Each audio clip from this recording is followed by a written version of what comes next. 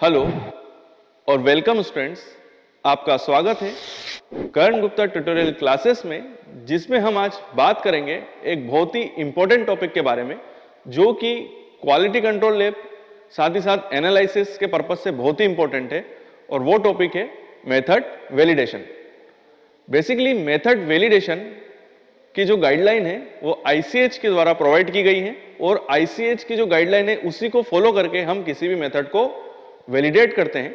ICH एक European agency है, जिसका फुल फॉर्म है।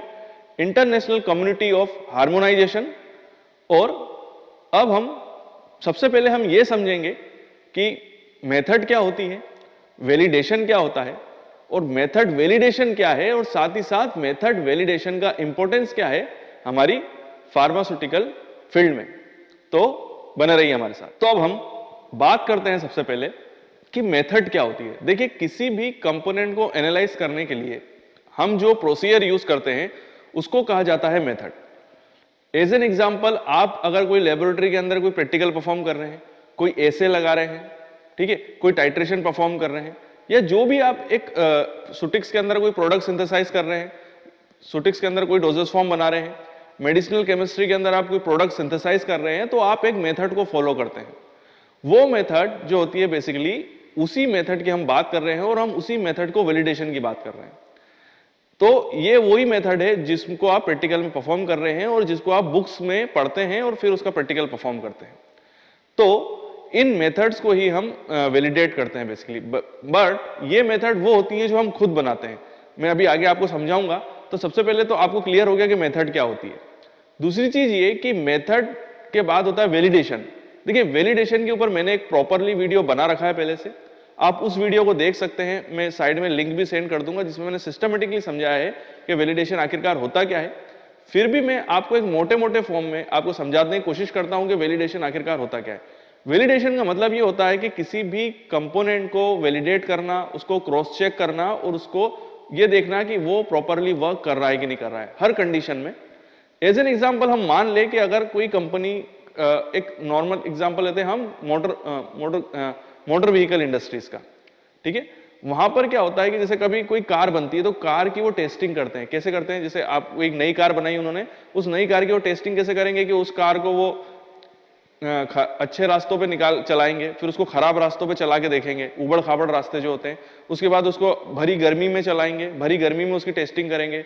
बरसात में टेस्टिंग करेंगे कि पानी गिर रहा है तो अंदर कोई पानी तो नहीं पहुँच रहा है कार के अंदर। ठंड के अंदर वो गाड़ी की टेस्टिंग करेंगे। तो डिफरेंट डिफरेंट टेस्ट प्रोसीजर से वो उस कार की टेस्टिंग करते हैं और उसके बाद वो मार्केट में आती है और मार्केट में फिर वो चलने लग जाती है। मतलब बिकती है और उसके बाद वो परफॉर्म करती है। इस, इसी सारे टेस्ट प्रोसीजर को ही कहा जाता है वैलिडेशन मतलब उन्होंने उस गाड़ी को क्रॉस चेक करके ये चेक किया कि उनकी गाड़ी जो है या उनका जो प्रोडक्ट है वो प्रॉपरली है कि नहीं है।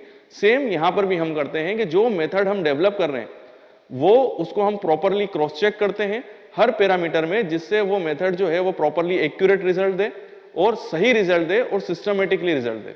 तो इन पैरामीटर्स मेथड को हम हर पैरामीटर में चेक करते हैं और फिर जब वो प्रॉपरली सही होती है वो मेथड उसके बाद हम उसको यूज़ करना स्टार्ट करते हैं और उसको फिर हम एनालाइज फिर उसको फिर हम एनालिसिस पर्पज में यूज़ करते हैं। तो मेथड तो अलग अलग टाइप की होती है, जैसे मैंने आपको बताया सूटिक्स के अंदर आप प्रोडक्ट किसी प्रोडक्ट को बना रहे हैं मेडिसिनल केमिस्ट्री में आप कोई सिंथेसिस कर रहे हैं। वहीं एनालिसिस के अंदर आप इंप्यूरिटी या किसी ड्रग की इंप्यूरिटी निकाल रहे हैं, किसी की प्यूरिटी टेस्टिंग कर रहे हैं, ऐसे लगा रहे हैं तो ये जितने भी आप प्रोसीजर यूज़ करते हैं, ये एक मेथड होती है और उसी मेथड को हम वैलिडेट करते हैं।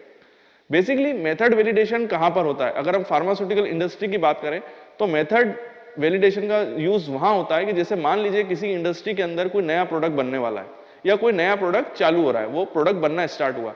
तो सीधी सी बात है, जब वो प्रोडक्ट बनेगा तो उसकी क्यूसी भी करनी पड़ेगी मतलब उसकी टेस्टिंग भी करनी पड़ेगी बट वो तो बिल्कुल नया है।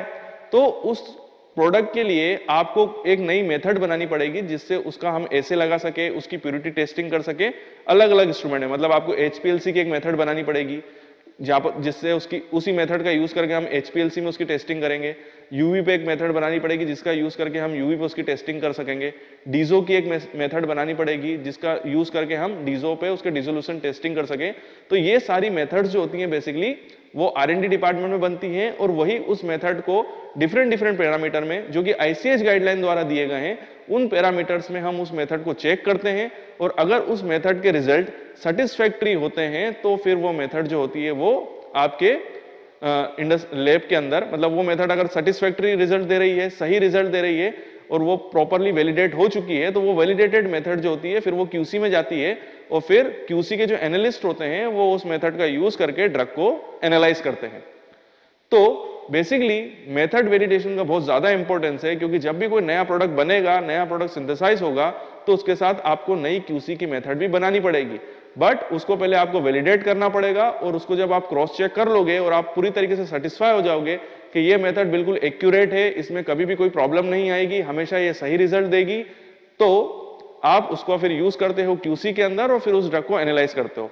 एक पॉइंट तो ये हो गया। एक दूसरा पॉइंट भी ये है कि मेथड वैलिडेशन का रिज़ल्ट ज़रूरी इसलिए है कि अगर आपने मेथड को वैलिडेट नहीं किया और आपने उसको क्यूसी में उस मेथड को यूज़ करने लग गए और उस मेथड के अंदर कोई गलत रिज़ल्ट आ गया। मान लीजिए ड्रग फेल हो गई। उस, उसी मेथड का आपने यूज़ करा बट आपने उसको वैलिडेट नहीं करा था, और वो ड्रग जो हो गई फेल हो गई। तो जो एनालिस्ट होगा, वो ये कहेगा कि मेथड गलत थी, इसलिए ड्रग फेल हुई।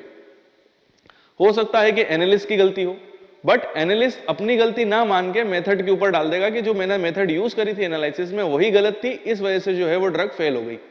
इसीलिए हर मेथड को पहले वैलिडेट किया जाता है, उसको डिफरेंट डिफरेंट पैरामीटर्स पे चेक किया जाता है कि वो मेथड प्रॉपर रिज़ल्ट दे रही कि नहीं दे रही है।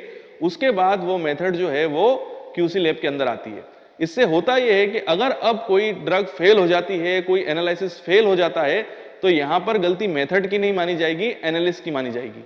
या तो एनालिस्ट की मानी जाएगी या तो ड्रग ही इम्प्योर है। दो चीज़ें हो सकती है। तो ड्रग इम्प्योर होगी या तो गलती एनालिस्ट से हुई होगी। बट मेथड तो आपकी प्रॉपरली वैलिडेट थी एक्यूरेट थी तो अब मेथड की कोई गलती नहीं है। मेथड बिल्कुल सही है, क्योंकि वो पहले से ही आर में चेक होके आई है और वहाँ पर उसने सही रिज़ल्ट दिए हैं और साथ ही साथ जब उसका वैलिडेशन किया गया था, तब भी वो सेटिस्फैक्ट्री रिज़ल्ट दे रही थी।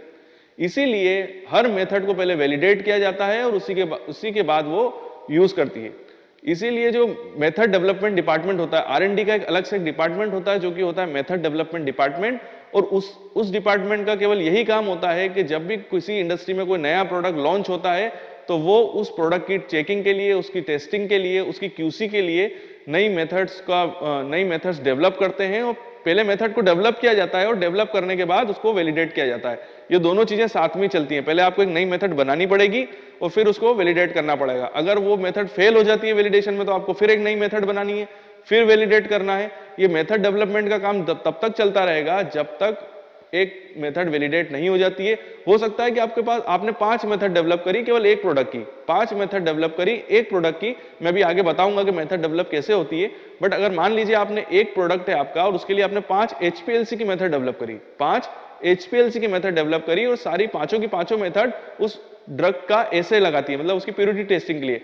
तो हम उन पाँचों को वैलिडेट करेंगे और उसमें हम ये चेक करेंगे कि उसमें सबसे अच्छा रिज़ल्ट किस मेथड का आ रहा है। और जिस मेथड का सबसे अच्छा रिज़ल्ट आएगा हम उस मेथड को क्यूसी के अंदर यूज़ करेंगे और उस, उसी को हम ऐसे एसओपी स्टैंडर्ड ऑपरेटिंग प्रोसीजर मानेंगे। तो वैलिडेशन मेथड वैलिडेशन का बहुत ही ज़्यादा इंपॉर्टेंस है। तो मैं आशा करता हूँ कि आपको ये मेरा जो पॉइंट है कि मेथड क्या होती है मेथड वैलिडेशन क्या होता है वैलिडेशन क्या होता है और उसका फार्मा इंडस्ट्री और क्यूसी के अंदर कितना ज़्यादा इंपॉर्टेंस है ये मैं आपको समझा चुका हूँ फिर भी अगर आपको कोई को, कोई डाउट है कोई इस टाइप का आपको क्वेश्चन समझ में नहीं आ रही है कोई बात क्लियर नहीं हो रही है तो आप इसका पार्ट टू देखिए। पार्ट टू में मैं आपको बिल्कुल सिस्टमेटिकली समझाऊँगा कि मेथड वैलिडेट कैसे की जाती है उसके कौन कौन से पॉइंट्स होते हैं और उन पॉइंट्स का क्या इंपॉर्टेंस है तो बने रहिए मेरे साथ और देखते रहिए इसका पार्ट टू भी। तो जैसे कि हमने जो हमारा फ़र्स्ट पार्ट था मेथड वैलिडेशन का इस पार्ट में हमने ये देखा कि मेथड वैलिडेशन आखिरकार होता क्या है और ये क्यों ज़रूरी है?